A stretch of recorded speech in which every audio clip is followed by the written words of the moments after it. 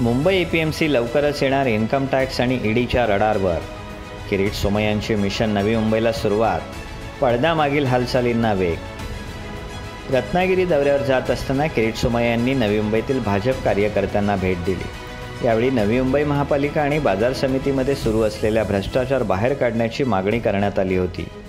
यावर नवी मुंबई मनपा आणि मुंबई बाजार समितीमध्ये देखील कोणी यशवंत जाधव असेल तर त्याला बाहेर काढू असा थेट इशाराच सोमय्यांनी दिला होता. यामुळे या धर्तीवर काही लोक महापालिकेचे तर काही बाजार समितीच्या गैरप्रकारांची यादी करू लागले आहेत. मुंबई बाजार समितीमधील पासष्ट कोटी मुदत ठेव भाजीपाला बाजारातील bogus code F S I घोटाळा आणि विविध पडून असलेले प्रकल्प व त्याला लागलेला वाढीव खर्च याबाबत माहिती गोळा करण्यास सुरुवात झाल्याची माहिती सूत्रांनी दिली आहे. बाजार समितीचे काही अधिक भ्रष्ट विभाग प्रथम टार्गेट केले जाणार असल्याचे कळते.